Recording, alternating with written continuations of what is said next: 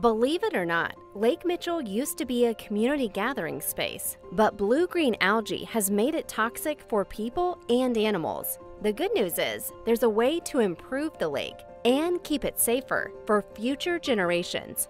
Decades of research and engineering has shown us that disturbing the soft sediment on the bottom of the lake will create a massive algae bloom and make things worse. The only effective and enduring solution is to remove the sediment to reduce harmful algae. Here's how that would work. First, we'd slowly lower the water level of Lake Mitchell.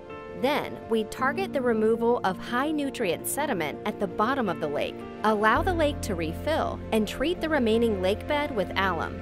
Alum is a mineral that naturally bonds with phosphorus, allowing us to effectively remove the food source that produces toxic algae blooms. At the same time, and well into the future, we'll work on the watershed so that the quality of water entering the lake will continue to improve. And we'll create and maintain sediment traps, which will catch phosphorus so it doesn't enter the lake.